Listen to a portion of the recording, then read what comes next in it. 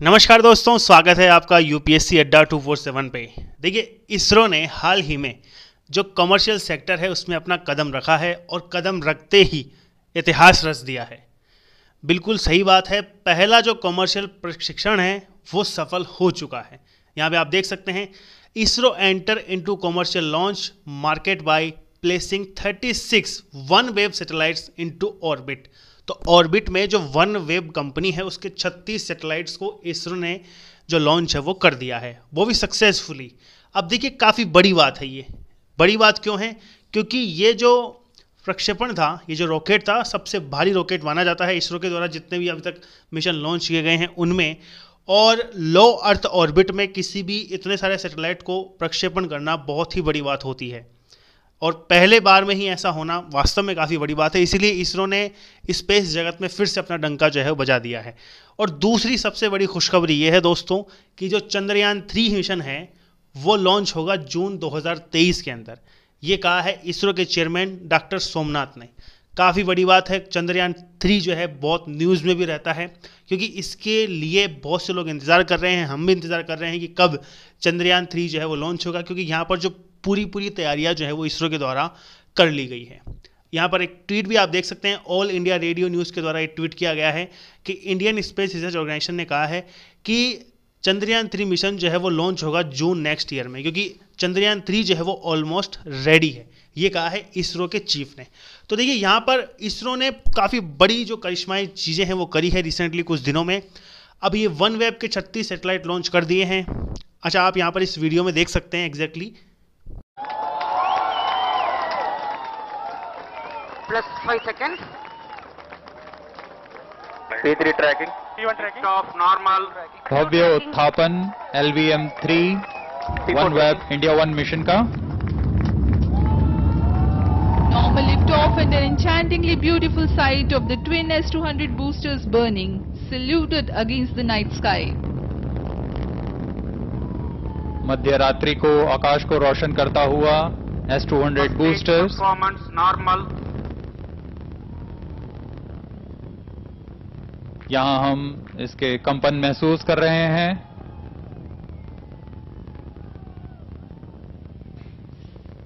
Searing the night sky, the LVM-3 M2 mission moves forward.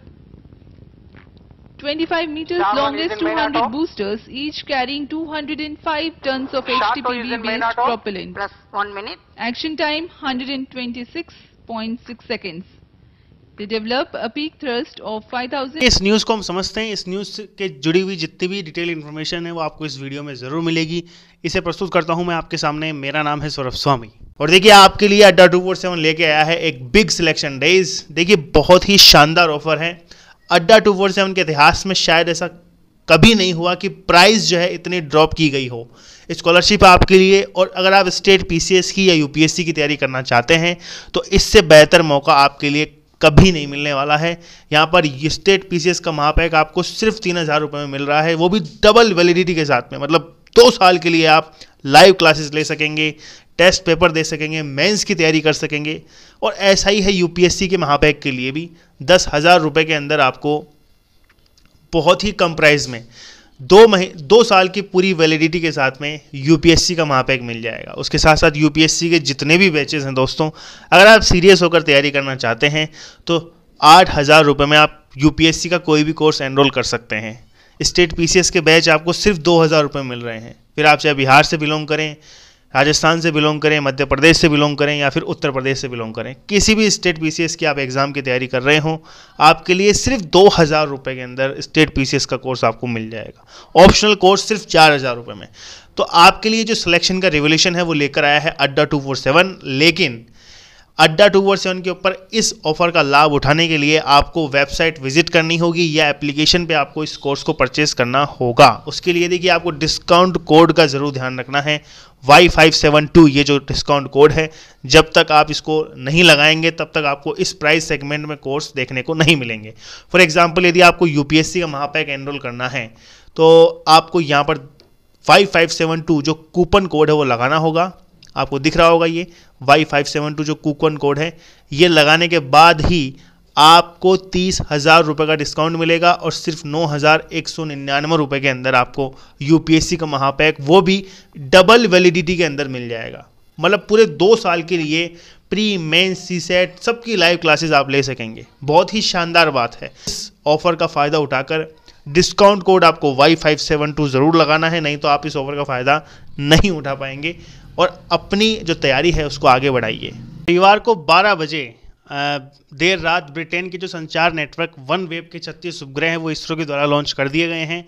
और सबसे करिश्माई बात यह है कि ये सभी जो उपग्रह हैं, वो सबसे भारी rocket G S L V M K three के द्वारा लॉन्च किए गए हैं। दोस्तों, चार मिशन लॉन्च किए गए हैं G S L V M K three के द्वारा। चारों के चारों सक्सेसफुल रहे हैं। और इसको अर्थ, लो अर्थ ऑर्बिट में सफलतापूर्वक स्थापित कर दिया गया है और इसरो ने इसकी पुष्टि भी अब कर दी है। काफ़ी बड़ी बात है दोस्तों, वास्तव में इसरो के द्वारा जिस तरीके से एक के बाद एक मिशन को सक्सेसफुली लॉन्च किया जा रहा है, भारत जो है स्पेस जगत में अपना डंका जो है बजाते जा रहा है। अच्छा ये जो जितने भी सेटेलाइट्स थे, ये एक कम्युनिकेशन नेटवर्क कंपनी है जिसका नाम है वन वेब उसके द्वारा उसके बनाए हुए सेटेलाइट्स थे, जिनको लॉन्च रिसेंटली किया गया है। और देखिए, ये एक ग्लोबल कम्युनिकेशन कंपनी है, और इसका जो मिशन है वो ये है कि लो अर्थ ऑर्बिट में लगभग छः छः सौ अड़तालीस जो सेटेलाइट हैं, वो लॉन्च कर दिए जाएँ, और इसरो ने इनमें से 36 सेटेलाइट जो है वो लो अर्थ ऑर्बिट में लॉन्च कर दिए हैं। ओके तो ये चीज़ आपको ज़रूर ध्यान रखनी है। वन वेब सॉल्यूशंस इंग्लैंड की एक कंपनी है, और लंदन में इसका हेडक्वार्टर है।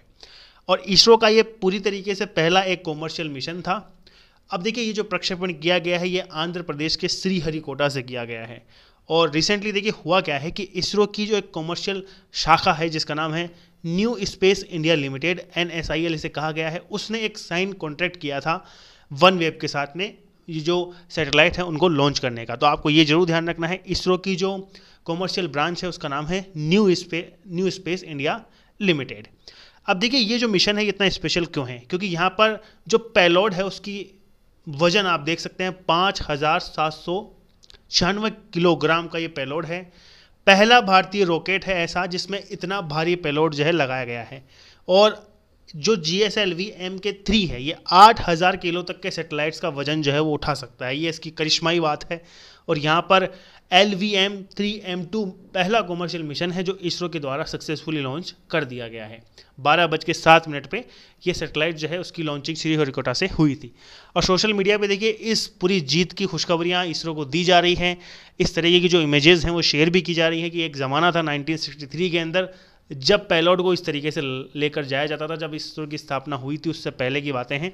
और आज इसरो जो है पाँच पाँच हज़ार किलो के पेलोड के साथ में जो सेटेलाइट है, वो आराम से लॉन्च कर देता है।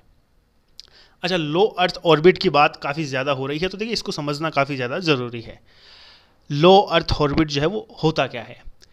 देखिए लो अर्थ ऑर्बिट जो है, वो पृथ्वी की सबसे निचली जो कक्षा है, वो आप मान सकते हैं। इसकी ऊंचाई जो है पृथ्वी के चारों ओर से लगभग 1600 किलोमीटर से 2000 किलोमीटर के बीच की होती है। ये पृथ्वी का सरफेस है और ये जो आप ये पीली बाउंड्री लास्ट देख रहे हैं, ये है लो अर्थ ऑर्बिट ओके यहाँ पर जो है, इसरो के द्वारा वन वेब के जो सेटेलाइट हैं, वो लॉन्च किए गए हैं।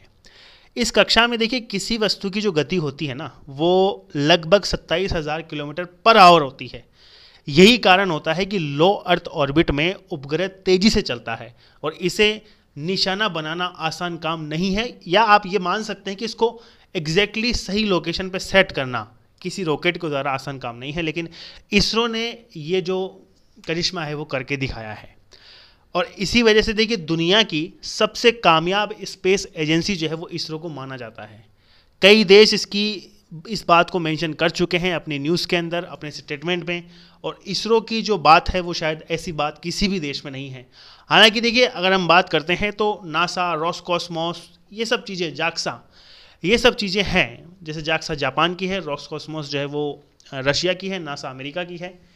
आर्थिक स्तर पर हम देखते हैं तो काफ़ी बड़े बड़े मिशन इन्होंने लॉन्च किए हैं, लेकिन काफ़ी चीज़ें ऐसी हैं जो इसरो ने कम बजट में लॉन्च करी हैं और उनसे ज़्यादा सक्सेसफुली अटैम्प्ट में करी है। तो ये काफ़ी बड़ी बात है और इस, इसरो को ये सब चीज़ें ही काफ़ी ज़्यादा स्पेशल बनाती है। अच्छा इसरो की स्थापना कब हुई थी? तो 1969 में इसरो की स्थापना हुई थी और दुनिया की सबसे कामयाब स्पेस एजेंसी जो है वो इसरो को माना जाता है। चौरासी स्पेस मिशन जो है 7 अगस्त 2022 तक लॉन्च किए गए थे इसरो ने, जिसमें से सड़सठ जो है सफल हैं।